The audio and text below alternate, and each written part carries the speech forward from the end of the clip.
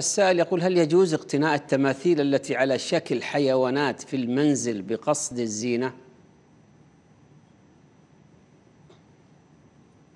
جاء في النصوص النهي عن اقتناء الصور وقد أخبر النبي صلى الله عليه وسلم أن الملائكة لا تدخل بيتا فيه صورة من أعظم ما يسمى صورة هذه الأصنام والتماثيل التي توضع على شكل الحيوانات.